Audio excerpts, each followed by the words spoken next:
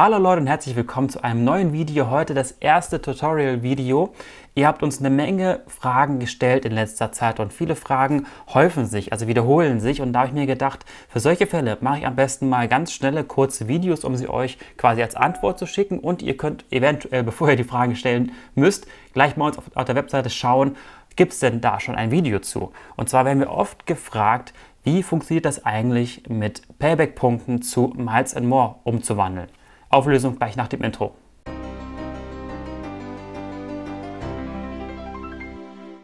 Ich habe mir hier schon mal meinen Laptop parat gestellt. Ich werde eine Bildschirmaufnahme machen. Das heißt, ihr könnt dann quasi dabei sein, wie ich meine Punkte von Payback zu Miles More umwandle oder transferiere, kann man ja beides nennen. Ich habe nicht so viele Punkte aktuell auf dem Payback-Konto, weil ich erst kürzlich nämlich dieses Meilen-Abo verwendet habe.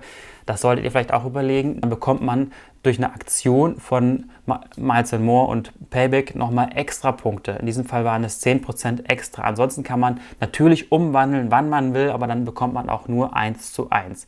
Also für diejenigen, die dann entsprechend äh, spontan ihre Punkte oder Meilen benötigen. Ja, eigentlich ist es gar nicht so schwer. Ihr geht auf die Webseite von Payback, meldet euch natürlich an, dann könnt ihr oben ja schon sehen, wie viele Punkte ihr habt. Ich gehe meistens dann in die Suchleiste rein und gebe dann dort Miles and More ein und dann komme ich ja schon zur Auswahl. Dann habe ich dann hier die Partner, Miles and More, gehe da drauf und dann sehe ich schon eine Übersicht, dass ich entweder hier Punkte umwandeln, wann ich möchte, oder zum Meilen-Abo anmelden sage. Wie gesagt, wenn ihr nicht darauf angewiesen seid, ähm, jetzt spontan die Punkte haben zu müssen, dann würde ich euch dieses Meilen-Abo empfehlen. Immer Anfang des Jahres so im März, also ihr seht ja da, Anfang März und Anfang September werden die Punkte also automatisch umgewandelt. Anfang März wäre dann diese Aktion jedes Jahr mit entweder 10%, vorletztes Jahr waren es mal 20%, also vielleicht sind es nächstes Jahr ja wieder 20%, könnt ihr darauf hinarbeiten und könnt dann nochmal extra Punkte abgreifen. In diesem Fall geht es aber jetzt erstmal um die spontane Umwandlung. Dann melde ich mich an und habe dann hier die Möglichkeit, umzuwandeln. Ihr könnt sehen, maximal Punktestand ist 518, das ist nicht wirklich viel. Die sind auch alle sofort einlösbar. Manchmal gibt es nämlich gesperrt Punkte, wenn ihr zum Beispiel gerade ein Zeitungsabo abgeschlossen habt. Dann bekommt ihr diese 10.000 Payback-Punkte als Prämie, aber die sind für drei Monate leider gesperrt oder sind gesperrt. Erst danach werden sie freigegeben.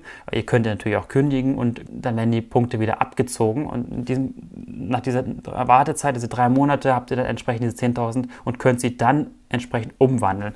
Gut, ich habe sie jetzt sofort verfügbar, gebe dann auch ein hier, ich möchte 519 umgewandelt haben. Meine Nummer ist schon hinterlegt kann man entsprechend halt auch schon eingeben und die bleibt dann auch dann da drin und dann drücke ich einfach auf Weiter und bestätige nochmal, schon sind sie dann ja, auf dem Weg zu Miles More. Das dauert maximal, da steht drei Tage, aber bei mir sind sie meistens nach einem Werktag schon dann auf dem Meilenkonto bei Miles More. Ja, so einfach geht das. Äh, wie gesagt, bevor ihr das macht, überlegt euch, ob ihr sie wirklich benötigt, denn es gibt ja die Möglichkeit des Meilen-Abos und im März mit der Aktion macht eine Menge aus. Also wenn ihr beispielsweise 100.000 Punkte gesammelt habt, dann kriegt ihr nochmal bei einer guten Aktion, also bei 20 Prozent, nochmal 20.000 Punkte obendrauf. Das macht dann gleich 120.000 Punkte. Ne? Oder in diesem Fall wie diesen Jahr waren es nur 10 Prozent, aber es sind trotzdem 10.000 extra Punkte, die ihr dann gemacht habt. Wäre halt eine Idee für euch. Ja, hat es euch gefallen, hat es euch weitergebracht, dann drückt den Daumen hoch.